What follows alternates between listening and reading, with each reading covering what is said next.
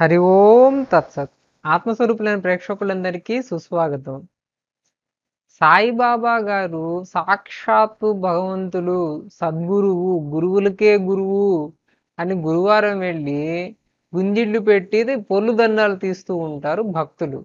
మరి అటువంటి భక్తులకు తెలియనటువంటి రహస్యాన్ని సాక్షాత్తు సాయి మాస్టర్ ఎకిరాల భరద్వాజ గారు తన యొక్క పుస్తకంలో అనేక సార్లు అనేక సందర్భాల్లో అనేక పేజీల్లో కొంచెం కూడా కపటం లేకుండా స్పష్టంగా రాశారు. సాయిబాబా గారు అనేక సందర్భాల్లో భక్తులను ముఖ్యంగా స్త్రీ భక్తులను కూడా పచ్చి బూతులు తిట్టేవాళ్ళని ఆయనే రాశారు. ఆ విషయం చాలా మందికి తెలీదు. కానీ ఆ విషయం తెలిసిన వాళ్ళు కూడా ఆయన బూతులు తిడితే కూడా అందులో అంతరార్థాలు ఉన్నాయి ఆత్మీయ అర్థాలు ఉన్నాయి బైబిల్లో లాగా దాని వెనకాల చాలా మంచి విషయం ఉందని కప్పిపుచ్చే ప్రయత్నం చేస్తూ ఉంటారు. వాటి సంగతి మనకెందుకు? ఆయన అసలు అలా ఎందుకు తిట్టారు? నిజంగా ఆ భక్తులు అంత భయంకరమైన బూతులు తిట్టాల్సినటువంటి తప్పు ప- తప్పుడు పనులు ఏమైనా చేశారా లేదా? లేదా? ఆయన కావాలని మతిస్థిమితం లేక అలా తిట్టారా? అనే విషయాన్ని ఆ సంఘటనలను పరిశీలిస్తే మనకు అర్థమైపోతుందిగా. ఇంకెందుకు ఆలస్యం? పరిశీలిద్దాం రండి. Page number seven to eight.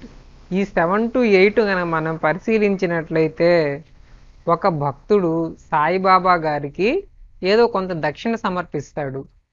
సమర్పిస్తే ఈ సాయిబాబా డ్రెస్సింగు ఆ స్టైల్ చూస్తే ఈయన దగ్గర ఏదో మహిమలు ఉన్నాయి అని ఆయన్ని ఆశ్రయిస్తే ఏదో ఆయన కష్టాలు తొలగిపోతాయని ఆయన వెంట పడతారనమాట అలా వెంట పడుతూ వెంట పడుతూ సాయిబాబాని అలా వెంబడిస్తూ బాబా గారు ఉండేటువంటి ఆ ప్రదేశం దగ్గరికి అతను వస్తారు. అతను వచ్చిన తర్వాత ఏం జరిగింది అనేది సాయి లీలామృతం ఎకిరాల భరద్వాజ మాస్టర్ గారు రాసిన పుస్తకంలో ఎనిమిదవ పేజీలో స్పష్టంగా రాసింది. అక్కడ ఏం రాసిందంటే అలా వెదికి వెదికి నేను ఆయన కోసం చాలా కాలం వెదికి చివరికి సిరిడీలోని మసీదుకు చేరాను. ఆ మసీదు లోపల తెరలు దించి ఉన్నాయి. అచ్చట ఫకీరు గారు స్నానం చేస్తున్నారు. ఈ ఫకీరు గారంటే ఎవరో కాదు మీరందరూ భక్తితో పూజించుకునేటువంటి సాయిబాబా గారు. నేను తెర పైకెత్తి చూశాను. అసలు అప్పట్లో అండర్వేర్లు ఇవేమి లేవండి. పాపం బాత్రూమ్ లేక ఆయన ఏదో నాలుగు గోదా పట్లు కట్టుకొని స్నానం చేస్తూ ఉంటే ఈ భక్తులు అంతేనండి ఏం చేస్తాం? అండర్వేర్ లేకుండా గోతా పట్లు కట్టుకొని స్నానం చేస్తూ ఉంటే ఆ గోదా పట్లు ఎత్తి ఈ భక్తుడు చూశాడంట. చూసేసరికి నన్ను అనుగ్రహించిన ఫకీరు ఇతనే అని గుర్తుపట్టాడంట. నన్ను చూస్తూనే పట్టరాని కోపంతో ఆయన ఎవ ఆయన అంటే ఎవరో కాదు గౌరవనీయులు సాయిబాబా గారు. ఏమన్నారంటే లం డాష్ కొడక. అక్కడ జామకాయలో మొట్టమొదటి అక్షరాన్ని మీరు పెట్టుకుంటే సరిపోతుంది. ఇప్పటికే నా రక్త మాంసాలు పీకుతున్న పీక్కు తిన్నాం. ఓ జామకాయ కొడక. ఎముకలు కూడా తినాలని వచ్చావట్రా. అంటూ ఇంకా మీకు నేను చెప్పలేనటువంటి ఈ పుస్తకంలో ఎకిరాల భరద్వాజ మాస్టర్ రాయలేనటువంటి ఇంకా మా కొంచెం కూడా కామన్ సెన్స్ ఉన్న ఒక మామూలు సభ్యత కలిగిన వ్యక్తి మాట్లాడలేని వినలేనటువంటి బండ బూతులని తిట్టారు. అందులో ఒకే ఒక్క బూతుని మాత్రం ఇక్కడ రాశారు. రాసిన తర్వాత అలా తిట్టి సంతృప్తి పడలేదు. ఎందుకంటే పాపం ఆయన పాటికి ఆయన గోతాపట్టల్లో అండర్వేర్ లేకుండా స్నానం చేస్తుంటే ఎత్తి చూశాడుగా అందుకని మండిందేమో ఆయనకి. ఒక ఇటుకరాయి తీసుకుని ఎత్తి కొట్టాడంట.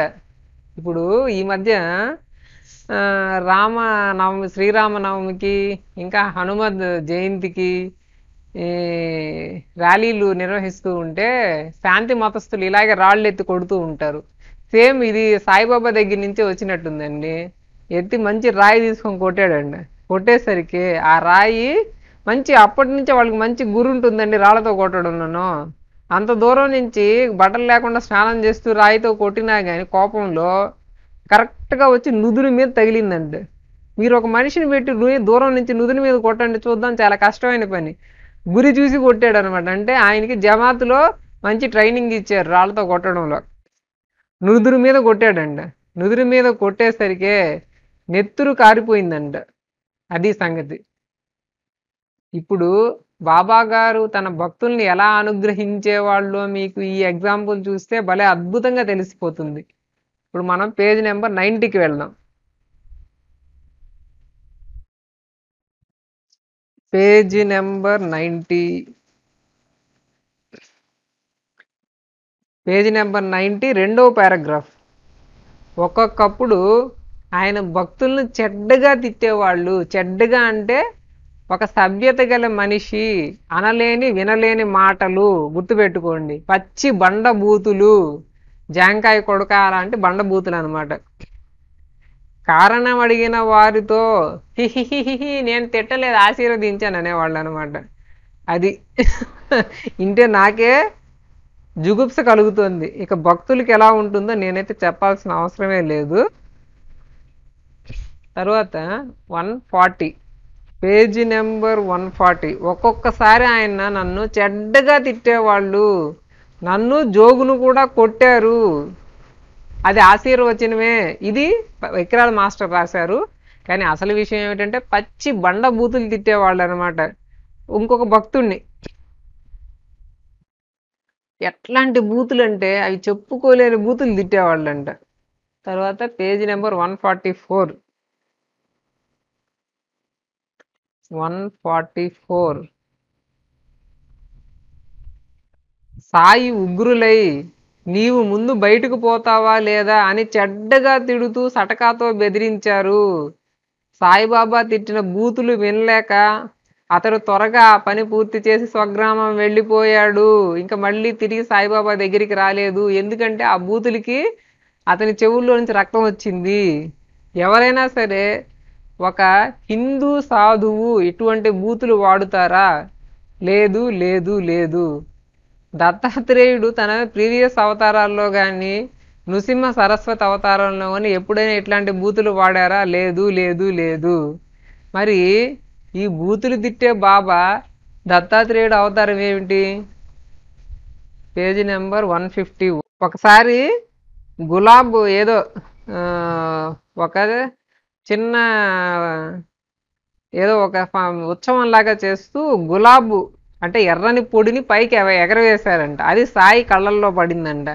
ఆయన ఉగ్రులై అందరినీ పచ్చిగా తిట్టారు చెడ్డగా తిట్టారు. జస్ట్ కొంచెం పొడి కళ్ళల్లో పడితే.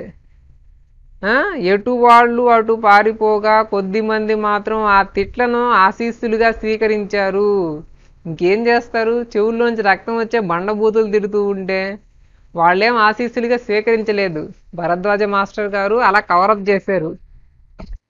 మానవుల్లోని అరిషడ్ వర్గాలనే రాక్షసులను చంపడానికి రాముడు అవతరించినప్పుడు రాముడు కూడా ఇలాగే తిడతారని రాశారు. ఏమైనా తెలివి ఉందా ఇతనికి? రాముడు మర్యాద పురుషోత్తముడు. రాముడు మాట్లాడిన ప్రతి మాటలో కూడా అన్ని ఛందస్సులు హండ్రెడ్ పర్సెంట్ కరెక్ట్గా ఉంటాయి. ఆ శ్రీరాముడికి ఈ సాయిబుకి ఏమైనా పోలిక? ప్రతి దగ్గర ఇలా సమర్థించాల్సి వచ్చిన వచ్చినప్పుడు శ్రీరాముడిని వాడుకుంటారు ఎకిరాల మాస్టర్ గారు. ఆయన ఫోటో చూడండి ఒకసారి. బొ- బొట్టు ఉండదు ఏమీ ఉండదు. ఆయన ముస్లింగా మారిపోయారేమో అని నా అనుమానం ఒకటి. తర్వాత page number one fifty one. ఇదే మొత్తం అన్ని చదివేశాం మనం. ఇంకా అనేక సందర్భాలు ఉన్నాయండి. పచ్చి బూతులు తిట్టే సందర్భాలు. వాటన్నిటిని ఒక పార్ట్ టూలో చెప్తాను. హరి ఓం తత్సత్.